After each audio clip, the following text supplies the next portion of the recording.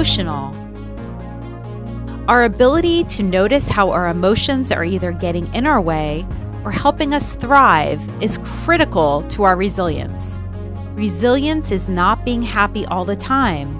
Emotions like anxiety, anger, or sadness can be very important in our ability to prepare, gain energy, and reach out to others.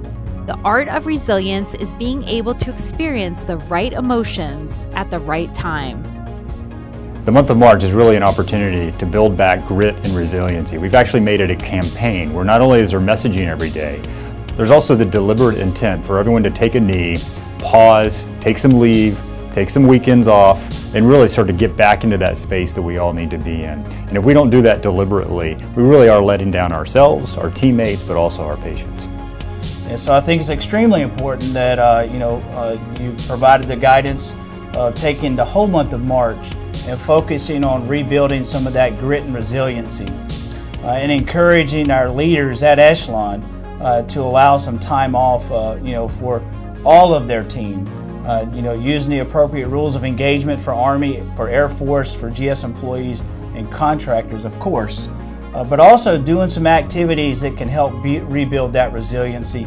Our uh, public affairs team, you know, I published a calendar in conjunction with some of our uh, staff to put together daily activities uh, that I highly encourage leaders at Echelon to get your people to do. And we've done some other things. Some other companies have actually gone out and done some axe throwing events just to, to make sure they were building some morale, uh, clearly not hurting each other. We didn't want to bring them into the trauma yard uh, here at BAMC. Uh, other folks have gone bowling. Uh, next week we're going to engage with the Vogel Center. Uh, we've asked them to give us a couple programs that again we can do at the command level for us and really just take two or three hours off, go over there and do some yoga, some other things to just sort of rebuild uh, our grit and resiliency. And you know your barn sessions where you're doing physical fitness, uh, you know every Thursday with the small team setting, uh, positive feedback from that that helps build resiliency. You know, so just another example of something that you can do with your team. Uh, you know, doesn't have to be a barn PT session. You know, where you're doing something like that. You could just do a walk, uh, but something uh, where you, you get your team together to build some camaraderie.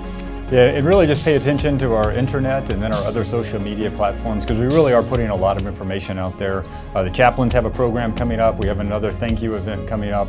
Uh, there's lots of areas that you can engage, but really from our standpoint, we think that's it's that first line supervisor.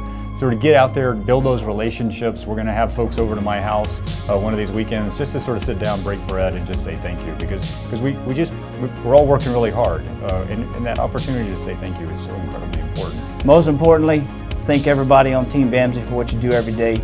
You truly are appreciated, and everyone is extremely important to the success of our mission. Yeah, everything you do truly is relevant. We really do appreciate what you do. We, we, we at our level don't say this enough, uh, but we, are thrilled to be here each and every day. Uh, we love to come to work because it's people like you uh, that make us successful, so thank you.